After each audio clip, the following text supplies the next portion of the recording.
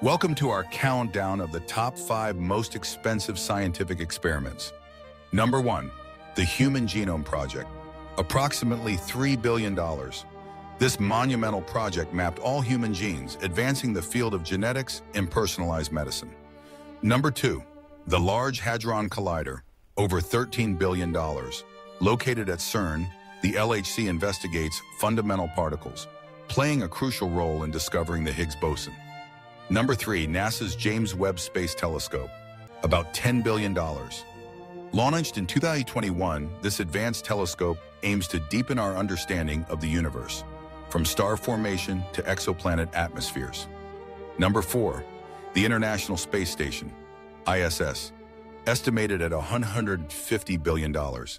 The ISS serves as a unique microgravity research laboratory that fosters international collaboration and studies the effects of long-term space travel.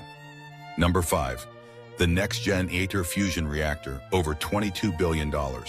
This ambitious project seeks to create viable nuclear fusion energy, promising a potential solution for clean, unlimited power.